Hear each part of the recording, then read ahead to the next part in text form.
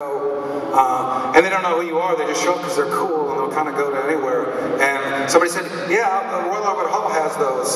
Uh, and and then uh, I found out today that, that one of them uh, that is a, a season ticket holder is my friend Jimmy Page, and he's here tonight. And so I was scared shitless to play that last song, but now that now what the show is gone. Now that I've played it, that one's for you, Jimmy. It's nice to play a song for one of my heroes that's living and fucking here.